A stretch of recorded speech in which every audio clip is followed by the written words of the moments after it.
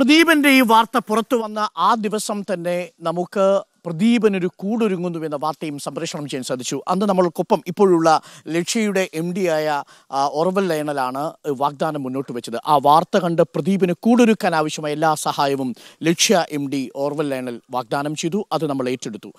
പിന്നീട് നമ്മൾ ആ വീട് പണിയാൻ ഒരാളെ തിരഞ്ഞു. നമുക്ക് അങ്ങനെ ഒരാളെ കിട്ടി. അങ്ങനെ റിപ്പോർട്ടറും ലക്ഷ്യയും കൂടി ചേർന്ന് പ്രദീപിന് വീടൊരുക്കുകയാണ്. ഇന്നത്തെ ദിവസം വളരെ പ്രധാനപ്പെട്ടതാണ്. ഞങ്ങൾ എല്ലാവരും നിൽക്കുന്നത് വടകര ലോക്സഭാ മണ്ഡലത്തിലെ പേരാമ്പ്ര നിയമസഭാ മണ്ഡലത്തിൽപ്പെട്ട ചങ്ങരോത്ത് പഞ്ചായത്തിലെ പട്ടാണിപ്പാറ എന്ന് പറയുന്ന ഒരു ഗ്രാമത്തിലാണ്. ഈ ഗ്രാമം നിങ്ങൾ കേട്ടിട്ടുണ്ടാവും. കുറച്ച് നാളുകൾക്ക് മുമ്പ്. അന്ന് നമ്മൾ കേൾക്കുമ്പോൾ ഈ സന്തോഷം നമ്മുടെ മുഖത്തില്ല. അന്ന് നിപ്പ പറന്നു പിടിക്കുമ്പോൾ ആദ്യ കേസ് റിപ്പോർട്ട് ചെയ്തത് ഈ ചങ്ങരൂത്ത് പഞ്ചായത്തിലെ സൂപ്പിക്കടയിലാണ് അല്ലേ?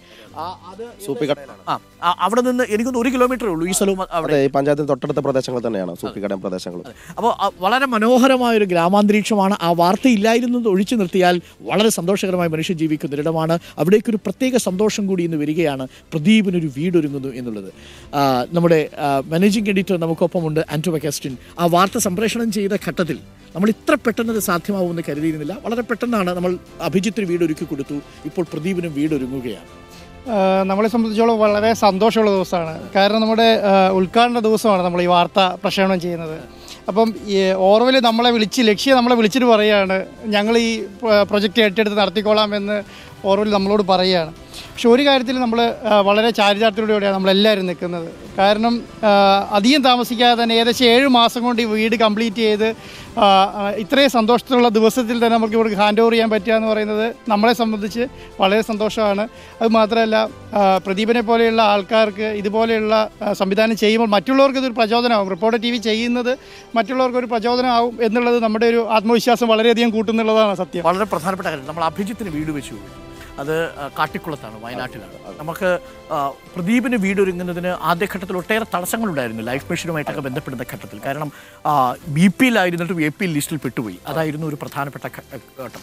അൻപത് കിലോമീറ്റർ മുച്ചക്രവാഹനം ഓടിച്ച് മനുഷ്യാവകാശ കമ്മീഷനിലെത്തി പരാതി പറയാൻ വരുമ്പോഴാണ് നമ്മുടെ സിനോജിന്റെ ശ്രദ്ധയിൽപ്പെടുന്നത് ഈ വാർത്ത. വളരെ പെട്ടെന്നാണ് ബാക്കി കാര്യങ്ങളൊക്കെ നടക്കുന്നത്.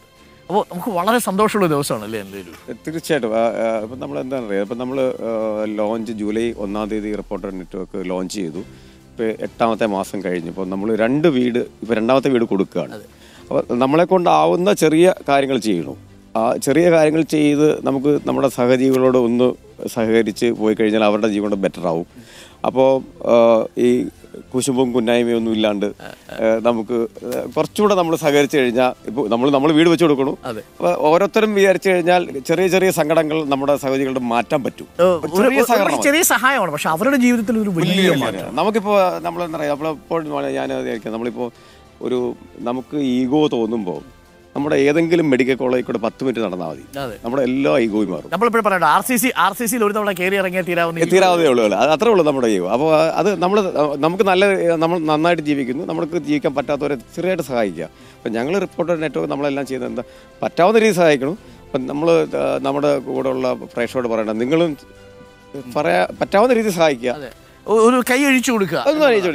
അപ്പോൾ വളരെ സന്തോഷകരമായ ഒരു കാര്യമാണ് ആദ്യം ഞങ്ങളുടെ താങ്ക്സ് അറിയിക്കുന്നു. കാരണം സർക്കാരിന്റെ ഒരു കൈപ്പിഴ കൊണ്ട് ആ ഫയൽ മൂവ് ചെയ്യുന്നതിനകത്ത് സംഭവിച്ചു പോയിരിക്കുന്ന ഒരു പിഴവായിരുന്നു. അതിൽ എ പി ലിസ്റ്റിൽ ഉൾപ്പെട്ടതുകൊണ്ട് അതിൽ പ്രയോറിറ്റി കിട്ടില്ല പക്ഷേ എഴുപത്തൊന്നാമത്തെ ലിസ്റ്റിലുണ്ട്. പക്ഷേ നാളുകൾ ഏറെ എടുക്കും. പക്ഷേ അതുവരെയും ഈ മഴയും വെയിലും കൊണ്ട് പ്രദീപൻ കഴിയണമായിരുന്നു. പക്ഷേ ലക്ഷ്യയുടെ സി എസ് ആർ ഇനിഷ്യേറ്റീവിന്റെ ഭാഗമായി മനോഹരമായ ഒരു വീടൊരുങ്ങുകയാണ്. എങ്ങനെ തോന്നുന്നു?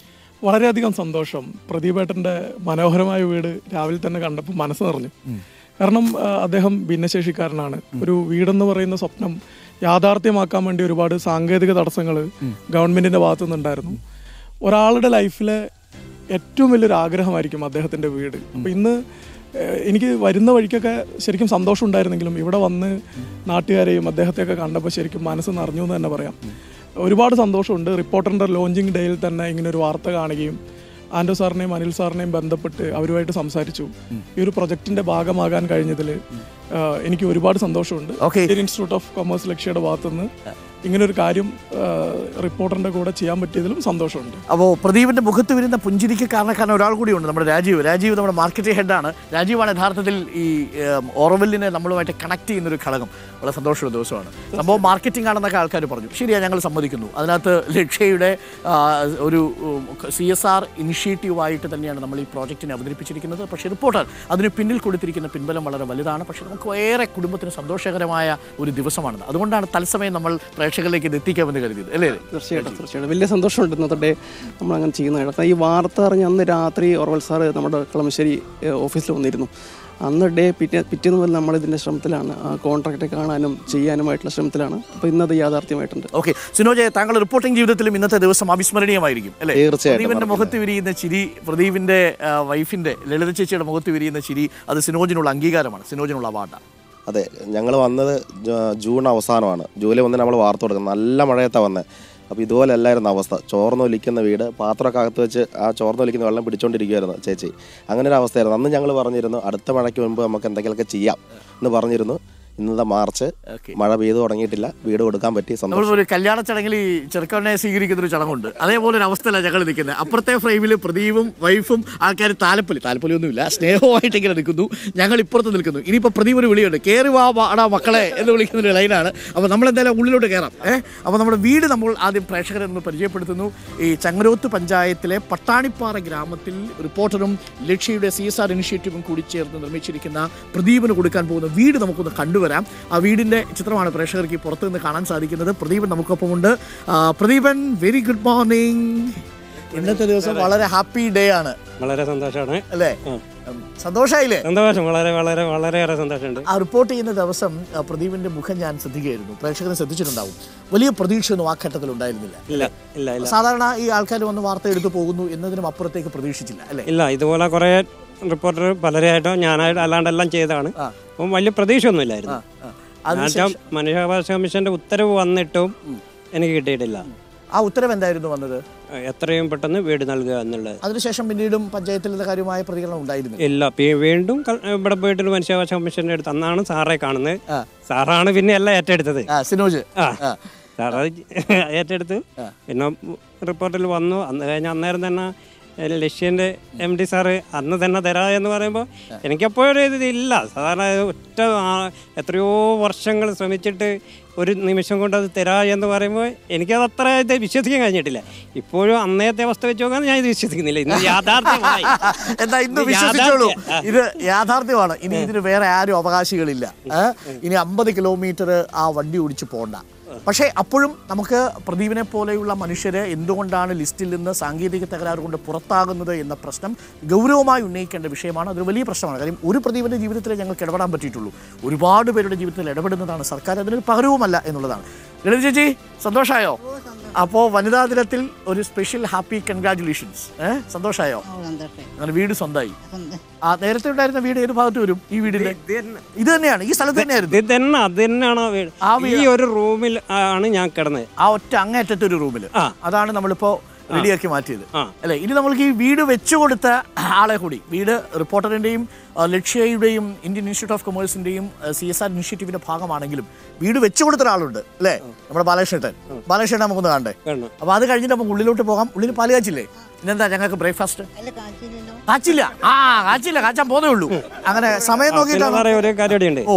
എന്റേത് ബി പി എൽ ആണ് എന്ന് മാത്രമല്ല എന്റെ മഞ്ഞ കാർഡാണ്. മഞ്ഞ പിന്നെ എങ്ങനെയാ അത് എ പി ലിസ്റ്റിൽ വന്നത് അത് അവർ എന്തുകൊണ്ട് ചെയ്തെന്ന് എനിക്കറിയില്ല. ഞാൻ കളക്ടറെ എടുത്ത് പോകുന്നവരോ എല്ലാവരോടും പറയുന്നുണ്ട് ബി പി എൽ കുടുംബമാണ്. സ്വന്തമായിട്ട് എത്ര ഭൂമിയുണ്ട്? ആറ് സെന്റ്. ആറ് സെന്റ്. ഇങ്ങനെയാണ് സഞ്ചാരമൊക്കെ. ലോട്ടറി ടിക്കറ്റ് ലോട്ടറി ടിക്കറ്റ് വിൽക്കും.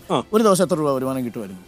അത് എല്ലാ ദിവസവും ഒരുപോലെയാണ് ചില ദിവസം എന്ന് പറഞ്ഞാൽ പെട്രോൾ ഇതെല്ലാം അടിച്ചിട്ട് ഒന്നും ഉണ്ടാവില്ല. പ്രൈസ് അടിക്കുന്ന ദിവസമാണെങ്കിൽ ചിലപ്പോൾ നല്ല സംഖ്യ വരുന്ന ദിവസങ്ങളുണ്ട്. പ്രൈസ് കിട്ടിയിട്ടുണ്ടോ? വിറ്റയിൽ കിട്ടി അഞ്ച് ലക്ഷം കിട്ടിയിട്ടുണ്ട് രണ്ട് ലക്ഷം കിട്ടിയിട്ടുണ്ട്. കമ്മീഷൻ അഞ്ച് ലക്ഷം അടിച്ചാൽ അമ്പത് അമ്പതിനായിരവും രണ്ട് ലക്ഷം അടിച്ചാൽ ഇരുപതിനായിരവും. അതിൽ സർക്കാരിന്റെ ടാക്സ് പോകും സർക്കാരിന്റെ ടാക്സ് പോകും അതുകൊണ്ട് ലോട്ടറി വകുപ്പിന്റെ പ്രത്യേക ശ്രദ്ധയ്ക്ക്. അതെ അതെ.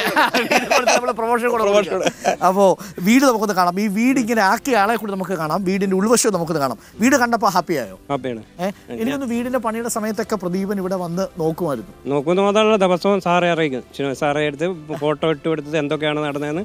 അന്ന് അന്ന് അന്ന് അറിയിക്കും. ഞാൻ ലാസ്റ്റ് മന്ത്രിയാണ് നിൽക്കുന്നത് ഇപ്പം. അപ്പോൾ അവിടെ നിന്ന് ഇവിടെ വന്നിട്ട് എല്ലാം അന്ന് അന്ന് സാറ് എല്ലാ എന്താണോ നടക്കുന്നത് നടക്കുന്നത് അതിനനുസരിച്ച് അറിയിക്കും. ഇപ്പം വളരെയേറെ സന്തോഷമുണ്ട്. ജീവിതത്തിൽ ഞാൻ ആഗ്രഹിക്കുന്നതിൽ എത്രയോ മേലെയുള്ള വീട് ഇട്ടിട്ടുണ്ട്. അല്ലല്ല ഈ പ്രദീപിന് ഇതിനും അപ്പുറമുള്ള വീട് കിട്ടാനുള്ള യോഗ്യതയുണ്ട്. കാര്യം പ്രദീപ് വളരെ കഠിനാധ്വാനിയായ ഒരു ജീവനക്കാരനാണ്. ഒന്ന് നോക്കൂ ഈ ശാരീരികമായ അവസ്ഥയിലും ഒരു ഭിന്നശേഷിക്കാരനായിട്ട് പോലും ആയിട്ട് പോലും എന്ന് പറയുന്നത് ഞാൻ എക്സാജറേറ്റ് ചെയ്ത് പറയുന്നതല്ല അവരൊക്കെ ജീവിക്കുന്ന ആ ആ നിലപാടെന്ന് പറയുന്നത് വളരെ പ്രധാനപ്പെട്ടതാണ്. അല്ലേ? വിശ്രമിക്കുന്നില്ല തങ്ങൾക്ക് എന്തെങ്കിലും പരാധീനത ഉണ്ടെന്ന് നമ്മൾ ലോകത്തോട് പറയുന്നില്ല. നമ്മൾ എല്ലാ മനുഷ്യരും പോലെ തന്നെ ജീവിക്കുന്നു. അത്രയല്ലേ ഉള്ളൂ. വളരെ ഹാപ്പി ആ ആത്മവിശ്വാസത്തിലാണ് നമ്മൾ ബിഗ് സല്യൂട്ട് കൊടുക്കേണ്ടത്. അപ്പോൾ പ്രദീപ് അപ്പോൾ നമുക്ക് ബാലേഷേട്ടനെ പരിചയപ്പെടാം. ബാലേഷേട്ടാ ആ ഓക്കെ നമസ്കാരം. ബാലേഷേട്ടൻ പേരാമ്പ്രക്കാരനാ അല്ലേ? പേരാമ്പ്ര അല്ലേ സ്വദേശം ഈ വീട് ഏറ്റെടുക്കാനായിട്ട് ആദ്യം ഞങ്ങൾ പോകുമ്പോൾ ഞാൻ തുറന്നു പറയാം പ്രേക്ഷകരോട്. നമ്മൾ നമ്മുടെ ആദ്യത്തെ നമ്മുടെ സി എസ് ആർ ഇൻസ്റ്റിറ്റ്യൂട്ടിന്റെ ഭാഗമായി റിപ്പോർട്ടറും ലക്ഷ്യം കൂടി ഒരു ചെറിയ പ്രോജക്റ്റാണ് വെച്ചത്.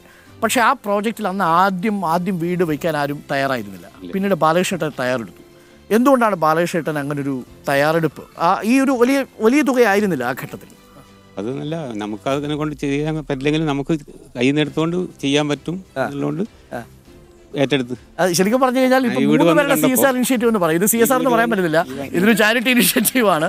കാര്യം നമ്മൾ കൊടുത്ത തുകയ്ക്കൊപ്പം ബാലകൃഷ്ണന്റെ മനസ്സുമുണ്ട് ഈ വീടിന് പിന്നെ അഞ്ച് പൈസ ലാഭം എടുത്തിട്ടില്ലെന്ന് മാത്രമല്ല കയ്യിൽ നിന്ന് പൈസയും പോയിട്ടുണ്ട്. അല്ലേ? ശരിയല്ലേ? അതെ. അത് എത്രയാ നമ്മൾ പറയുന്നില്ല. അത് അവിടെ ഇരുന്നോട്ടെ. പക്ഷേ ആ ചേട്ടൻ കാണിച്ച മനസ്സിന് ഞങ്ങളുടെ ഹൃദയത്തിൽ നിന്നൊരു സല്യൂട്ട്. കേട്ടോ ബാലകൃഷ്ണ അപ്പോൾ പ്രദീപിന് വീടായി. ഇനി ബാല ഈ പ്രദീപിന്റെ വാർത്ത സിനോജിലേക്ക് എത്തിച്ചിട്ടുണ്ട് സിനോജെ ഈ വാർത്തയെ എങ്ങനെയാണ് നമ്മൾ എത്തിയത്? ആര് വഴിയാണ്? സന്തോഷേട്ടൻ. ഇതാണ് സന്തോഷേട്ടൻ. സന്തോഷന്റെ വീട് എവിടെയാ? ഞാൻ പുതിയാപ്പുറം. പുതിയാപ്പുറം. ഇവിടെ നിന്ന് ഒരുപാട് ദൂരെയാണോ? ഇവിടുന്ന് ഒരു പതിനഞ്ച് റുപ്യ പോയിന്റ് പതിനഞ്ച് റുപ്യ. എങ്ങനെ പ്രദീപിനെ മനസ്സിലായത്? എവിടെ വെച്ചാണ് പ്രദീപിന് ഞാനും കൂടെ ഒരു പന്ത്രണ്ട് പതിമൂന്ന് കൊല്ലങ്ങൾക്ക് മുമ്പ് ലോട്ടറി ടിക്കറ്റ് ഒക്കെ അല്ലേ? പ്രദീപ് ചേ- ചേട്ടൻ ഇത് തന്നെയാ? ഇതാ ഇല്ല. ഇല്ല. ആദ്യം.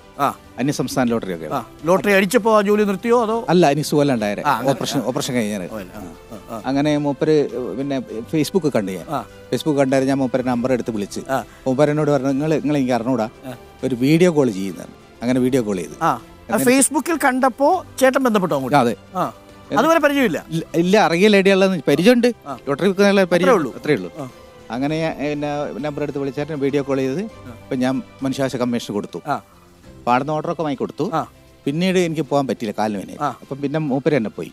അപ്പം ഞാൻ ന്യൂസ് മൂപ്പരെടുത്ത് കൊടുത്തു. സിനോജ് സാർ സിനോജിന്റെ കൂടെ പിന്നെ വാർത്ത ഇങ്ങനെ ഡെവലപ്പ് ചെയ്തു. അതെ അതെ. അപ്പോൾ a friend in need is a friend in deed എന്ന് പറഞ്ഞാൽ യഥാർത്ഥത്തിൽ അത് ഈ കാര്യത്തിൽ വളരെ അക്ഷരാർത്ഥത്തിൽ ശരിയാണ് നിങ്ങൾ തമ്മിൽ പഴയ കാലത്തെ സൗഹൃദമൊന്നുമില്ല ആകെ ലോട്ടറി ടിക്കറ്റ് വിൽക്കുന്ന മാത്രമേ ഉണ്ടായിരുന്നു ഉണ്ടായിരുന്നുള്ളൂ. ആ അവസ്ഥ കണ്ടപ്പോൾ അത് ഫേസ്ബുക്കിൽ എടുത്ത് ഇടാൻ പറഞ്ഞു. ആ ലൈവ് വീഡിയോ കിട്ടി. കിട്ടി. ആ വാർത്തയായിട്ട് കൂടും അത് കൊടുത്തു. അപ്പോൾ അങ്ങനെയാണ് പ്രദീപിന്റെ ജീവിതം മാറുന്നത്. എന്നാൽ പിന്നെ നമ്മൾ അങ്ങോട്ട് കയറിയല്ലേ ആ അങ്ങനെ ഒരു പ്രശ്നമുണ്ട്. താക്കോൽ കൊടുത്താലേ അകത്ത് കയറാൻ പറ്റത്തുള്ളൂ. അപ്പോൾ താക്കോൽ വേണ്ടേ? അപ്പോൾ താക്കോൽ ദാനം നിർവഹിക്കാൻ വേണ്ടി റിപ്പോർട്ടറിന്റെ എം ഡി മാനേജിംഗ് എഡിറ്ററുമായ ആൻഡ്രു അഗസ്റ്റിൻ ഒപ്പം ലക്ഷ്യ ഇന്ത്യൻ ഇൻസ്റ്റിറ്റ്യൂട്ട് ഓഫ് കൊമേഴ്സിന്റെ എം ഡി ഓർവൽ ലാനൽ ഒപ്പം ഞങ്ങളുടെ നെറ്റ്വർക്ക് പ്രസിഡന്റ് അനിൽ ഐരൂർ എന്നിവർ വരുന്നു. പ്ലീസ് സാർ പ്ലീസ് പ്ലീസ് അപ്പോൾ സന്തോഷകരമായ മുഹൂർത്തം. പ്രേക്ഷകർ നിങ്ങളും കൈയടിച്ചാട്ടെ. സന്തോഷകരമായ കാര്യം. ദാ പ്രദീപിന് ഒരു വീട് വരുന്നു. ഒപ്പം ലളിത ചേച്ചിക്ക് ഒരു വീട് വരുന്നു. ഇനി ഒരാളെ കൂടെ നമുക്ക് പരിചയപ്പെടാനുണ്ട്. അത് പ്രദീപന്റെ അമ്മയാണ്. അമ്മയുടെ പേര്? കാർത്തേനി. അമ്മ നമുക്ക് ആ വിശേഷം ഒന്ന് പങ്കുവയ്ക്കാം. വീട് നമുക്കൊന്നിന് കാണാം. ഇനി പാലുകാച്ചൽ ചടങ്ങാണ് നടക്കാൻ പോകുന്നത് അല്ലേ? അപ്പോൾ ചേച്ചി റെഡിയല്ലേ അപ്പോൾ താക്കോൽ കൈവശം വന്നു. അപ്പോൾ ചേച്ചി വിചാരിക്കുന്നുണ്ടാവും ഈ താക്കോൽ വെച്ച് അങ്ങനെ തുറക്കാൻ പറ്റും എന്ന് ചേച്ചി വിചാരിക്കുന്നുണ്ടാവും. ഇത് നമ്മുടെ ടി വിയിൽ ആ ക്യാമറയിൽ കാണിക്കാൻ വേണ്ടിയുള്ളതാണ്. യഥാർത്ഥ താക്കോൽ വരും കേട്ടോ. താക്കോലിന്റെ പണം തന്നു വിട്ടോ എന്നതായിരുന്നു ചോദ്യം. അങ്ങനെയല്ല യഥാർത്ഥ താക്കോൽ വരുന്നുണ്ട്. നമുക്ക് തുറന്ന ഉള്ളിലേക്ക് കയറാം. ഇനി നമ്മളുടെ ഈ വീട് നിർമ്മിച്ച നമ്മുടെ ബാലകൃഷ്ണേട്ടൻ നമ്മുടെ നെറ്റ്വർക്ക് പ്രസിഡന്റ് അനിലൈരൂരിന്റെ വക ഒരു സ്നേഹവും ഒരു ആദരവും നൽകുന്നു. കാരണം നമ്മൾ ഒട്ടേറെ ബുദ്ധിമുട്ടിയിരുന്നു വ്യക്തിപരമായി. കാര്യം ആ വീട് ആ ഫണ്ടിനുള്ളിൽ നിർമ്മിച്ച് കിട്ടുക എന്നുള്ളത് അത്രയേറെ ബുദ്ധിമുട്ടുള്ള കാര്യമാണ് താങ്ക് യു ബാലകൃഷ്ണേട്ടാ സ്നേഹം. അപ്പോൾ നമ്മൾ ഒരുമിച്ച് തന്നെ അങ്ങോട്ട് കയറുന്നു. ഏഹ് അപ്പോൾ എന്നാൽ ലളിത ചേച്ചിയും പ്രദീപേട്ടനും കൂടി വീട്ടിനുള്ളിലേക്ക് കയറുകയാണ്. ഞാൻ അപ്പോൾ ഒരാളെ കൂടി പരിചയപ്പെടുത്താം. നമസ്കാരം. ഇത് പ്രദീപേട്ടന്റെ അമ്മയാണ്. കാർത്തേനി അമ്മ. സന്തോഷമായോ സന്തോഷമായി നേരത്തെ താമസിച്ചത് മുകളിലാണെന്ന് തോന്നുന്നു അല്ലേ? അല്ലേ? ഇവിടെ വന്ന് താമസിക്കാൻ പറ്റുമായിരുന്നില്ല. പ്രദീപിനൊരു വലിയ മോഹമുണ്ടായിരുന്നു. ഇപ്പോൾ ഈ പടി കയറി വരുന്ന പ്രദീപൻ ഞങ്ങളുടെ പ്രതിനിധിയോട് പറഞ്ഞത് വീട് കിട്ടുന്നതിനോടൊപ്പം പ്രദീപന് പ്രദീപന്റെ അമ്മയെ അല്ലേ? ഇവിടെ കൊണ്ടുവന്ന് താമസിപ്പിക്കണം. അതെ. അല്ലേ? അതായിരുന്നല്ലേ ആഗ്രഹം? അതെ. ആഗ്രഹം സാധിച്ചു. ആഗ്രഹം എന്ന് വെച്ചാൽ അതല്ല ആദ്യം ഇങ്ങനത്തെ ഒരു വീട്ടിൽ കിടക്കണമെന്ന് അച്ഛൻ ആഗ്രഹം ഉണ്ടായിരുന്നു അപ്പോൾ അച്ഛൻ അസുഖം വന്നിട്ടോ അങ്ങനെ ഒന്നല്ല മരിച്ചത്. ഒരു സുപ്രഭാതത്തിൽ പണി ചെയ്തുകൊണ്ടിരിക്കുന്ന മരിച്ചു. അതിന് ഒരു അഞ്ചാറ് വർഷമായിട്ടില്ല. ആയിട്ടില്ല. ആയിട്ടില്ല. ഇല്ല. പക്ഷെ അച്ഛൻ അന്നേരം എവിടുന്നാ മരിക്കുന്നത്? സഹോദരിയുടെ വീട്ടിൽ നിന്നാണോ? അല്ല നമ്മൾ ഈ വീട്ടിൽ തന്നെ ഇവിടെ എല്ലാ തൊട്ട് മുകളിൽ ഇങ്ങനെ ഒരു വീട്ടിൽ കിടക്കണമെന്ന് അച്ഛൻ ആഗ്രഹം ഉണ്ടായിരുന്നു. ഉണ്ടായിരുന്നു. അതിനുശേഷം എന്തായാലും ഞാൻ വിചാരിച്ച വീട് ഉണ്ടായി കഴിഞ്ഞാൽ പിന്നെ അമ്മേനെ എന്റെ കൂടെ നിർത്താം എന്നുള്ള ആഗ്രഹമാണ്. അത് സാധിച്ചു. അപ്പൊ ഇനി മോന്റെ കൂടെ തന്നെയല്ലേ? ഏ? ഈ വീട്ടിൽ തന്നെയല്ലേ? പടച്ചുറപ്പുള്ള വീട്ടിലെ വീട്ടിൽ പ്രദീപനും ആ, പ്രദീപന്റെ അമ്മ കാർത്തേനി അമ്മ പ്രദീപന്റെ ഭാര്യ ലളിത ചേച്ചി എന്നിവർ ഒരുമിച്ചുണ്ടാവും. ഒപ്പം നമ്മളും കൂടി ഇനി പോവാണ്. ഇനി പാലുകാച്ച ചടങ്ങാണ്. നമുക്കത് തുറന്നാലോ? പക്ഷെ ഇത് വെച്ച് എങ്ങനെ തുറക്കും? ഏഹ് അപ്പോൾ നമ്മുടെ ഒറിജിനൽ താക്കോൽ നമ്മൾ വെച്ച് തുറക്കും നമ്മൾ തുറന്നു വെച്ചേക്കാണ് കേട്ടോ. ഇതൊക്കെ പ്രേക്ഷകർക്ക് കാണാൻ വേണ്ടിയാണ് നമ്മൾ വെച്ചിരിക്കുന്നത്. ഇത് ഉള്ളിലേക്ക് തുറന്നു കയറാം അല്ലേ? ഓക്കെ തുറന്നു കയറിക്കോ. താങ്ക് യു വരൂ അമ്മ നമുക്ക് പോവാം. അപ്പോൾ നമ്മൾ വീടിന്റെ ഉള്ളിലേക്ക് കയറുകയാണ്. വീടിന്റെ ഉള്ളിൽ മനോഹരമായൊരു വീടാണ്. ഈ ബഡ്ജറ്റിൽ ഏറ്റവും മുന്തിയ സംവിധാനം ഉപയോഗിച്ച് തന്നെയാണ് വീട് നിർമ്മിച്ചിരിക്കുന്നത്. നമ്മൾ ആ വീടിന്റെ ഉള്ളിലേക്ക് പോണു. നമ്മളിന്റെ അടുക്കളയിലേക്ക് പോണു. അടുക്കളയിൽ ഇന്ന് നടക്കാൻ പോകുന്നത് പാലുകാച്ചൽ ചടങ്ങാണ്. ഹായ് ആ വന്നാട്ടെ വന്നാട്ടെ. മോളുടെ പേരെന്താ? പാർവണ. ആ പാർവണ ഏത് ക്ലാസ്സിലാണ് പഠിക്കുന്നത് എയ്ത്തിൽ പാർവണ പ്രദീപ് മാമന്റെ പെങ്ങളുടെ മകൾ അല്ലേ? അത് കൺഫ്യൂഷൻ ആയി. അതായത് പ്രദീപിന്റെ സഹോദരിയുടെ മകൾ നമ്മ- നമ്മ- നമ്മൾ വീടൊന്ന് പ്രേക്ഷകരെ കാണിക്കാം. ഇതേപോലെ എല്ലാ എല്ലാവരും ആദ്യം കാണാൻ ആഗ്രഹിക്കുന്നത് എന്താ തീർച്ചയായിട്ടും. സംശയം എന്താ? അപ്പോൾ അടുക്കള കാണുക എന്നുള്ളതാണ് ഇത് കണ്ടുകൊണ്ടിരിക്കുന്ന പ്രേക്ഷകരുടെ ആഗ്രഹം. അപ്പോൾ നമ്മൾ അടുക്കളയിലേക്ക് കടന്നിരിക്കുന്നു. ആ അടുക്കള ഇതാണ്. അടുക്കളയിൽ എല്ലാ സംവിധാനങ്ങളും ഉണ്ട്. വിളക്കെല്ലാം കൊളുത്തി ഇത് പാൽ ഒഴിച്ചു വെച്ചിട്ടുണ്ട്. ഇനി പാൽ കാച്ചൽ ചടങ്ങിലേക്കാണ്. ഇതാണ് കിച്ചൺ. കിച്ചൺ നല്ല വൃത്തിയായിട്ട് നീറ്റായിട്ട് വെടുപ്പായിട്ട് ആ കിച്ചൺ വെച്ചിട്ടുണ്ട്. സന്തോഷമായില്ലേ ഏറ്റവും കൂടുതൽ ചോറും മീൻകറിയും ഒക്കെ തന്നെയാണോ അല്ല ഏറ്റവും ഇഷ്ടപ്പെട്ടത് ഏതാ ഭക്ഷണം? വെജിറ്റബിളാണ് വെജിറ്റേറിയൻ ആണോ? അല്ല കഴിക്കും. വെജിറ്റബിൾ ആണ് കൂടുതൽ ഇഷ്ടം. ആണ് കൂടുതൽ. പലഹാരത്തിൽ ഏറ്റവും കൂടുതൽ ഇഷ്ടം കൽത്തപ്പം. കൽത്തപ്പം. കൽത്തപ്പം വെക്കാൻ ലളിത ചേച്ചിക്ക് അറിയോ? അറിയോ? അറിയില്ലേ? അറിയില്ല കൽത്തപ്പം അറിയില്ലേ. എനിക്കറിയാം. അറിയാം. ചേട്ടൻ അറിയാം. അറിയാം. അമ്മയ്ക്കും അറിയാം. ഇല്ല ഞാൻ അങ്ങനെ ഇതായിട്ട് മഴ എങ്ങനെയാലും ചോർന്നടിക്കുന്ന ചോർന്നൊലിക്കുന്ന സമയത്ത് അപ്പോ ആദ്യം കൽത്തപ്പം ഉണ്ടാക്കാൻ പഠിക്കണം എന്നുള്ളതാണ് പ്രതിവേട്ടം പറഞ്ഞു വന്നതിന്റെ അർത്ഥം. മനസ്സിലായില്ലേ? വീടൊക്കെ ആയി ഇത് കൽത്തപ്പത്തിൽ തുടങ്ങാം എന്നാണ്. അപ്പൊ പാലുകാച്ചൽ ചടങ്ങിലേക്ക് നമ്മൾ കടക്കുന്നു. വീട് നമുക്കൊന്ന് കണ്ടിട്ടുണ്ട് അല്ലേ? അല്ലേ? തീർച്ചയായിട്ടും തീ- കത്തിക്കുമ്പോ- പാർവണയുടെ ഒരു പാട്ടും കൂടിയുണ്ട് പാർവണ ഒരു പാട്ടുകാരി കൂടിയാണ്. അമ്മയുണ്ട് ഇവിടെ. അമ്മ അതാ നിന്നാട്ടെ ഓക്കെ. നാത്തൂൻ എവിടെ? നാത്തൂനല്ലോ നാത്തൂൻ സഹോദരി ഏതാ? ഇതാണ് സഹോദരി. ആ അതാണ്. വന്നാട്ടെ വന്നാട്ടെ. എന്താ പേരെന്താ? ശരി നിന്നാട്ടെ ചേർന്ന് നിന്നാട്ടെ. അപ്പോൾ പാലുകാച്ചൽ ചടങ്ങിലേക്കാണ് നമ്മൾ പോകുന്നത്. അപ്പോൾ തിളയ്ക്കുന്ന സമയത്ത് ഞങ്ങൾ വീടൊന്ന് കണ്ടിട്ട് വരാം. നമുക്ക് ഒരുമിച്ച് പോകാന്നാ അപ്പോൾ നമ്മൾ ഒരു വീട് ടൂറിലേക്ക് പോവാണ്. ഞാനുണ്ട് പ്രതിമുണ്ട് അപ്പോൾ ഇത് വീട് ഇത് നമ്മുടെ അടുക്കള അല്ലേ? ബാലകൃഷ്ണൻ ചേട്ടാ എവിടെ? ബാലകൃഷ്ണൻ ചേട്ടൻ? നമ്മുടെ വീട് വെച്ച ബാലകൃഷ്ണൻ ചേട്ടനാണ് ഈ വീടിന്റെ റൂട്ട് മാപ്പ് അറിയാവുന്നത്. ഒന്നാട്ടെ. ഇത് വീടിന്റെ അടുക്കള. ഇനിയിപ്പോൾ ഇതിന് വേണമെങ്കിൽ നമുക്കൊരു ഫ്രെയിം ഇടാം. ആ ഫ്രെയിം ഇടുന്നുണ്ട് നമ്മൾ അല്ലേ? ഇത് നമ്മുടെ സ്റ്റോർ റൂമാണ് ഒരു കുഞ്ഞു സ്റ്റോർ റൂം ഉണ്ട്. കുഞ്ഞു സ്റ്റോർ റൂം അല്ല അത് വലിയ. സ്റ്റോർ റൂം ആണോ അത്യാവശ്യം ഉള്ള സാധനങ്ങളൊക്കെ വയ്ക്കാം. ആ സ്റ്റോർ റൂം മതി അല്ലേ? ഓ. ഓക്കെ. വലുപ്പമുണ്ട്. നല്ല വലുപ്പമുള്ള ഒരു സ്റ്റോർ റൂം ഉണ്ട്. അത് കഴിഞ്ഞിട്ട് വളരെ മനോഹരമായ ഒരു സ്ഥലമാണിത്. അതായത് നമ്മൾ സിറ്റിംഗ് ആണ് ഇത് നമ്മൾ ഡൈനിങ് ആയിട്ട് ഉപയോഗിക്കാം. അല്ല? ഡൈനിങ്ങിന് ഉപയോഗിക്കാൻ പറ്റും അല്ലേ? അപ്പോ ഇത് രണ്ട് സ്ഥലത്തും നല്ല എയർ വെന്റിലേഷൻ ഉണ്ട് അല്ലേ? അവിടെ ടേബിൾ വേണം. ആ ടേബിൾ നമ്മൾ വാങ്ങിക്കൊടുക്കും അല്ലേ? അപ്പോൾ നമ്മളൊരു അപ്പൊ അപ്പോൾ നമ്മൾ ഇവിടുത്തെ പരമാവധി മുതലാക്കിയിട്ട് വിട്ടാൽ മതി.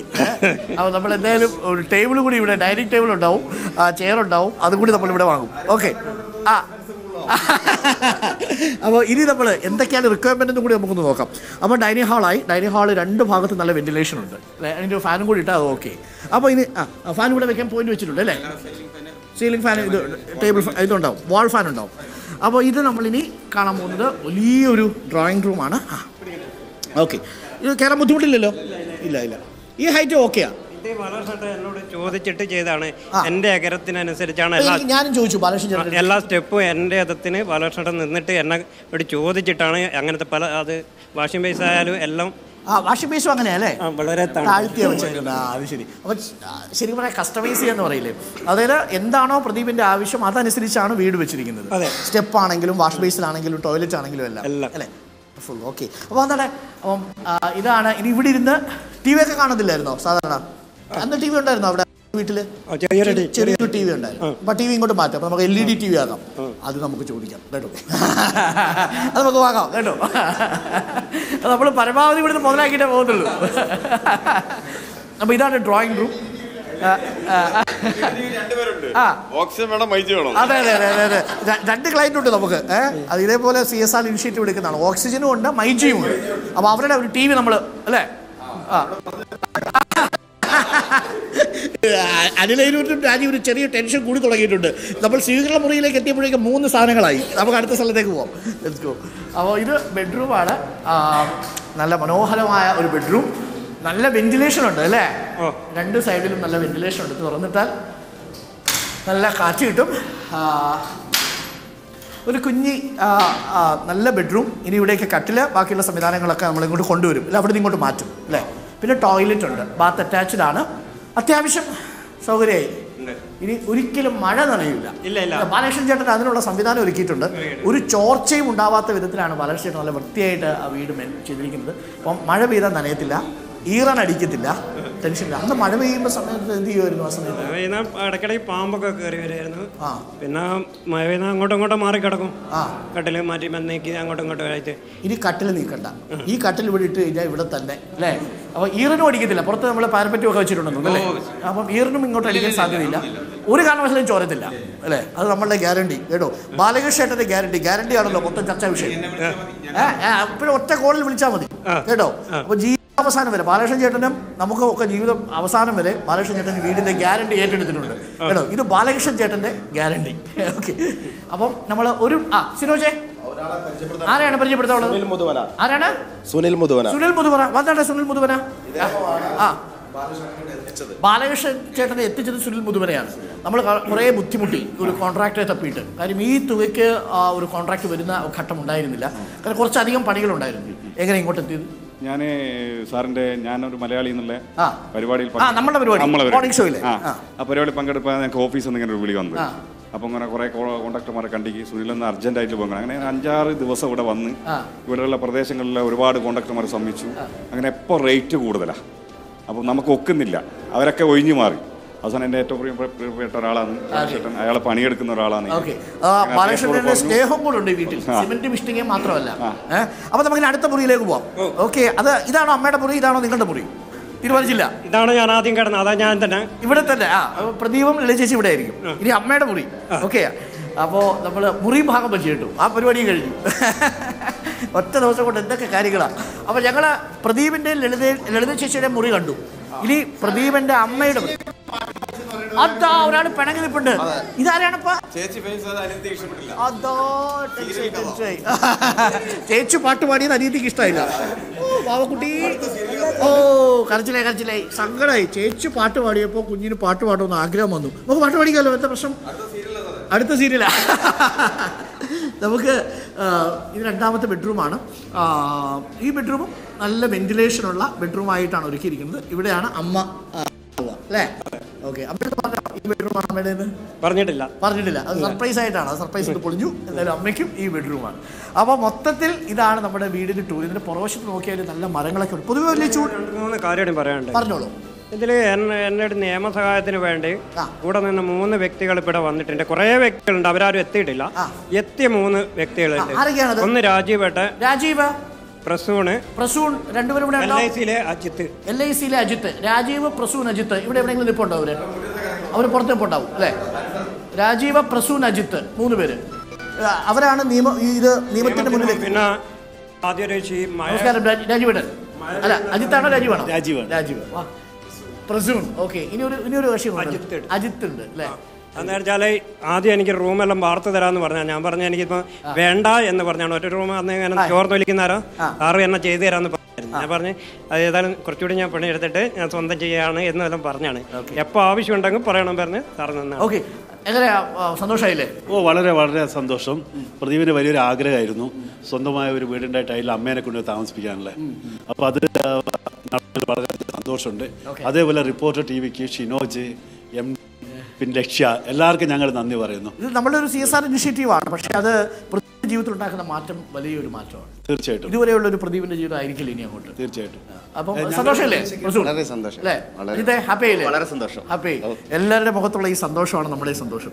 അപ്പോൾ നമ്മുടെ പാൽ തിളച്ചു തൂക്കാണ് മുഖത്ത് പോയിട്ട് വന്നാലോ? പാൽ അപ്പോൾ പാൽ ആ, കാച്ചിയാണ്. ആ, കഴിഞ്ഞു എന്നാണ് തോന്നുന്നത്. പാൽ തിളച്ചു തുടങ്ങി അവിടെ അടുക്കളയിൽ? അപ്പോൾ ഞങ്ങൾ അടുക്കളയിലേക്ക് ഒന്ന് പോവാം. ഇനി പാൽ കാച്ചി പാൽ തിളച്ചു തൂക്കി കഴിഞ്ഞാൽ ഇന്ന് വാർത്തകൾ ഇങ്ങനെ തിളച്ചു തൂങ്ങുന്നൊരു ഒരു ദിവസമാണ് പ്രദീപ് പ്രദീപ് പൊതുവെ വാർത്തയൊക്കെ ശ്രദ്ധിക്കാറുണ്ടോ? ഏ? വാർത്തയൊക്കെ ശ്രദ്ധിക്കാറുണ്ട്. ഇപ്പം തെരഞ്ഞെടുപ്പ് നടക്കാൻ പോവാണ്. ഫോണിൽ കൂടി ഫോണിൽ കൂടി കാണും അല്ലേ സൂക്ഷിച്ച് ആ. ആ, ഇങ്ങനെ ഈ പ്രദീപ് ഏകദേശം അൻപത് കിലോമീറ്റർ വണ്ടി ഓടിച്ചു പോയാണ് മനുഷ്യാവകാശ കമ്മീഷൻ ആ പരാതി കൊടുത്തത് എന്ന് പ്രേക്ഷകർ ഓർമ്മിക്കണം. എവിടെയാണ് സാധാരണ ടിക്കറ്റ് വിൽക്കാൻ പോകുന്നത്? അത് പേരാമ്പ്ര അങ്ങനെ പല റൂട്ടിലായിട്ട്. പല റൂട്ടിൽ. എല്ലാ ദിവസവും ഒരു റൂട്ടിൽ പോകില്ല അപ്പം ഒരു ദിവസം എത്ര കിലോമീറ്റർ പോകും അത് ടിക്കറ്റ് ചിലപ്പോൾ അമ്പത് ടിക്കറ്റ് അറുപത് ടിക്കറ്റ് വിൽക്കണമെങ്കിൽ ചില ദിവസം ഇവിടെ പന്തിരി ടൗൺ പോയാൽ തന്നെ തീരും. ഇനി അത് തീർന്നിട്ടില്ല അത് തീർക്കാൻ വേണ്ടി എത്ര ദൂരമാണ് ഓടേണ്ടത്? അത് ഓടും. ഈ ടിക്കറ്റൊക്കെ വിറ്റ് കഴിഞ്ഞ് വന്ന് വീട്ടിലിരിക്കുമ്പോഴേ റെസ്റ്റ് എടുക്കുമ്പോൾ ഒരു എന്താ പ്രധാനപ്പെട്ട സന്തോഷമുള്ളത്? സന്തോഷം എന്ന് പറഞ്ഞാൽ എന്നാലും ജോലി ചെയ്ത് ജീവിക്കുക എന്നുണ്ട്. പിന്നെ നല്ല വെയിലുള്ള ദിവസം ഞാൻ വിചാരിക്കും എനിക്ക് ആ പി എസ് സി തന്നെ മതിയായിരുന്നു. പി എസ് സിയിൽ ശരിക്ക് റാങ്ക് ലിസ്റ്റിലൊക്കെ വന്ന വ്യക്തിയാണ് ഞാൻ. എന്നിട്ട് പിന്നെ ഇന്റർവ്യൂ കഴിഞ്ഞ് വിളിക്കുക എന്ന്. വിളിക്കുന്നതിന് മുന്നേ എന്നോട് കുറെ ആൾ ചോദിച്ചു വേണം? അന്ന് എനിക്ക് ഇതുപോലെ ആക്സിഡന്റ് പറ്റിയിട്ടില്ല. സാധാരണ ഒരു വൈകല്യം മാത്രമേ ഉള്ളൂ ഇലക്ട്രോണിക് ഷോപ്പ് ഇല്ലല്ലോ. ഇല്ല. ഒരു പാട്ടുണ്ട് ഒരു പാട്ടും കൂടി. വന്നാട്ടെ പറവണ. ഞാൻ പാൽ തിളച്ചു തൂയി കഴിഞ്ഞു. ചേച്ചി സന്തോഷമായില്ലേ സന്തോഷമായി പ്രദീപ് സന്തോഷായി. കേട്ടോ അപ്പൊ പാൽ തിളച്ചു തൂവി ഇനി തിളച്ചു തൂവി നമുക്ക് ചായ കിട്ടൂല. അവിടെ ഓഫ് ആക്കിക്കോ അപ്പൊ സന്തോഷമായല്ലോ ചേച്ചി? അപ്പൊ ചേച്ചിയുടെ വക കടുപ്പത്തിൽ ചായ ഞങ്ങൾക്ക് ഏഹ് അപ്പോൾ സന്തോഷമായി നമ്മൾ ഇനിയിപ്പോൾ ഇവിടുന്ന് വലിയ വാർത്തകൾ തിളച്ചു തൂക്കിക്കൊണ്ടിരിക്കുകയാണ് അതിന്റെ ഒരു ആന്റോ വെക്കേഷൻ വളരെ പ്രധാനപ്പെട്ട വാർത്ത വരുന്നു. പത്മജ അങ്ങോട്ട് പോകുന്നു ഇവിടുന്ന് ഇങ്ങോട്ട് വരുന്നു പുതിയ സ്ഥാനാർത്ഥി പട്ടിക വന്നു ടോട്ടൽ സർപ്രൈസാണ് പ്രദീപിന് കിട്ടിയ സർപ്രൈസിനേക്കാൾ വലിയ സർപ്രൈസാണ് തൃശ്ശൂർക്കാർക്ക്. അവിടെ കെ മുരളീധരൻ വരിക. പടക്കം പൊട്ടുന്ന സർപ്രൈസുകളാണ്